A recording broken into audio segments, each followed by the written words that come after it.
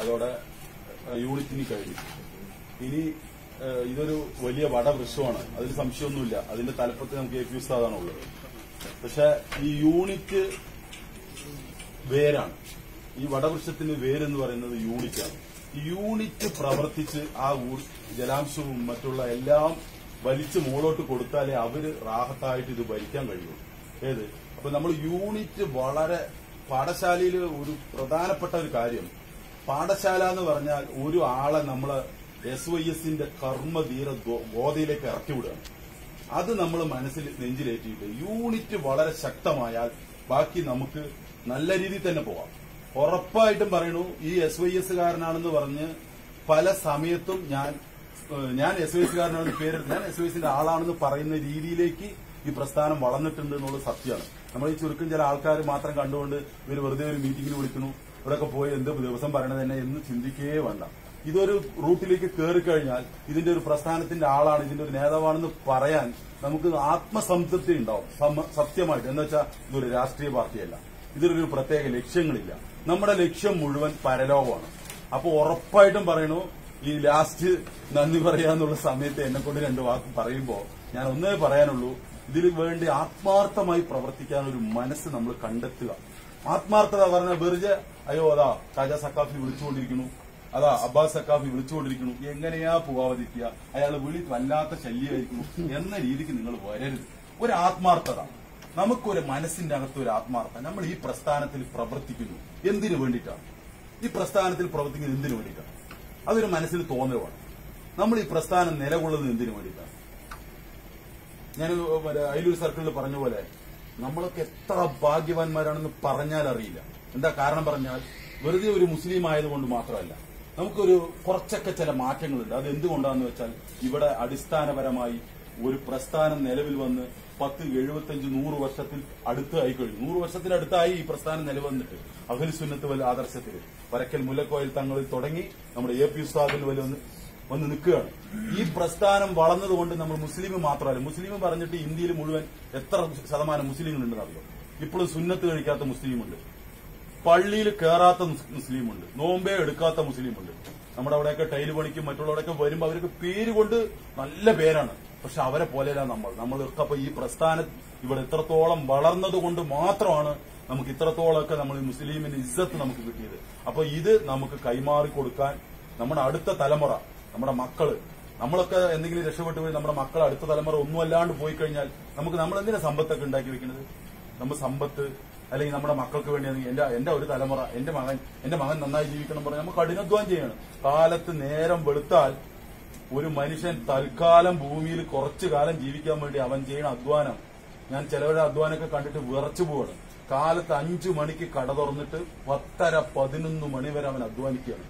ഒരു ഉറപ്പില്ലാത്ത ജീവിതത്തിന് വേണ്ടിയിട്ട് അവൻ അധ്വാനിക്കുന്ന സമയം പതിനാറ് മണിക്കൂർ പതിനേഴ് മണിക്കൂർ അധ്വാനിക്കുന്ന വ്യക്തികൾ ഈ നമ്മാറിൽ എത്ര പേരുണ്ടെന്ന് പറഞ്ഞാൽ ഒരു എൺപത് ശതമാനം പേരും പതിനാറ് മണിക്കൂർ ജോലി ചെയ്യുന്നത്.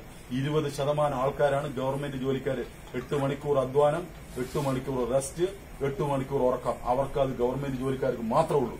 ബാക്കി നാസർക്കാനെ പോലെ നമ്മളെ പോലെയുള്ളവരൊക്കെ ഞാൻ അങ്ങനെ കുറ്റപ്പെടുത്തി പറയില്ല. പതിനാറ് പതിനേഴ് മണിക്കൂർ വളരെ ചുരുങ്ങിയ കാലം ജീവിക്കാൻ വേണ്ടിയിട്ട് നമ്മൾ കഠിനാധ്വാനം ചെയ്യാം.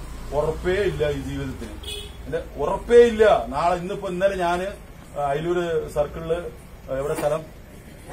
നെല്ലിയാമ്പാടത്ത് ഞാൻ എന്റെ കടയിൽ ഇരുന്ന സ്റ്റാഫ് മരിച്ചത് വെറും അഞ്ച് സെക്കൻഡിലാണെന്ന് പറഞ്ഞിട്ട് ക്ലാസ് ഒക്കെ കഴിഞ്ഞു.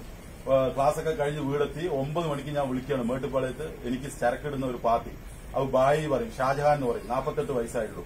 അപ്പൊ അവൻ എന്നെ വിളിച്ച് ചോദിക്കുകയാണ് വണ്ടി വണ്ടി വന്നാച്ചപ്പോ നീ വണ്ടി லேட் ஆனதுனால ഞാൻ நான் ആറ് വിട്ടുമ്പോൾ പത്ത് മണിക്ക് വരെ ചൊല്ലേന്ന്.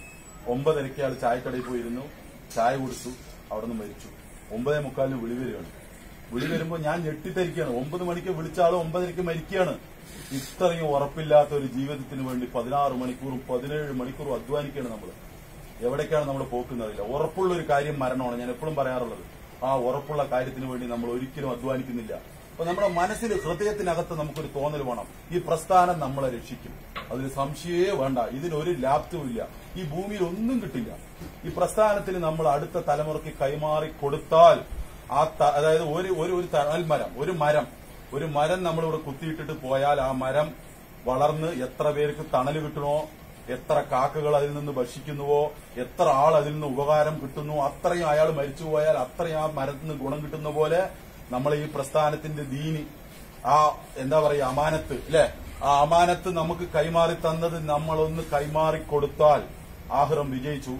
ആ ഒരു വിശ്വാസം നമ്മുടെ ഹൃദയത്തിലേറ്റി. നമ്മൾ ആ ആത്മാർത്ഥതയോടെ വെറുതെ ഒരു ചടങ്ങിന് വേണ്ടിയിട്ട് നിങ്ങൾ വരരുത് എന്നാണ് എന്റെ അഭിപ്രായം. ഒരു ആത്മാർത്ഥതയോടെ ഈ സന്ദേശം ഇസ്ലാം എന്ന വളരെ സുന്ദരമായ സന്ദേശം അങ്ങോട്ട് കൈമാറി കൊടുത്താൽ അള്ളാഹു ആഹ്റവും ജയിക്കും ദുനിയാവും വിജയിക്കും. മനസ്സിനൊരു സംതൃപ്തിയും വരും. ഈ പത്ത് പതിനെട്ട് മണിക്കൂർ അധ്വാനിച്ച് ഉറപ്പില്ലാത്ത ജീവിതത്തിന് വേണ്ടി ബുദ്ധിമുട്ടുന്നതിനേക്കാളും ഉറപ്പായ കാര്യം മരണം. പിന്നെ ഒരു കാര്യം നമ്മൾക്ക് നമ്മൾ ന്യൂനപക്ഷമാണെന്നൊരു പേടി. പേടിക്കേ വേണ്ട. നമ്മുടെ കൂടെയുള്ളതാരാണ് നമ്മുടെ അള്ളയാണ്. അയാൾ കൂടെ ഉണ്ടാവും നമുക്ക് പേടി വരുന്ന സാധനവും വേണ്ട. അങ്ങനെ ഒരു മനസ്സിലൊരു ധൈര്യം വന്നാൽ നമ്മൾ പിന്നെ ഒരു പേടിയേ ഇല്ലാത്ത ഒരാളാവും. ഒരു കാരണവശാലും പേടിക്കണം നമ്മൾ എന്തിനു മുമ്പിലും ആ സ്ട്രോങ്ങോടെ ന്യായത്തിന്റെ ഭാഗത്ത് നിന്ന് നമുക്ക് പ്രവർത്തിക്കാൻ ഇന്ന് എ പി ഉസ്താദ് ഉണ്ട് നമ്മുടെ നേതൃത്വങ്ങളുണ്ട് നമുക്ക് ഒരുപാട് ഉസ്താദ്മാരുണ്ട്. അള്ളാഹു എല്ലാവരും നല്ല രീതിയിൽ പ്രവർത്തിക്കാനുള്ള ഒരു ആത്മാർത്ഥമായ ഒരു സമീപനം നിങ്ങളുടെ ഭാഗത്ത് നിന്നുണ്ടായാൽ നമ്മുടെ യൂണിറ്റ് ശാക്തീകരിച്ചാൽ നമ്മൾ പ്രസ്ഥാനം വിജയിച്ചു.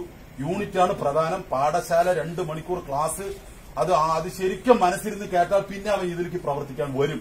ആ രീതിക്ക് ആക്കി തീർക്കാൻ നമ്മുടെ കാര്യമായ ഒരു പ്രവർത്തനം വേണം. എന്ന് മാത്രം പറഞ്ഞുകൊണ്ട് ഞാൻ എന്റെ വാക്കുകൾ നിർത്തുകയാണ്. എല്ലാവർക്കും നന്ദി പറയാൻ ആ ഒരു മൊബൈൽ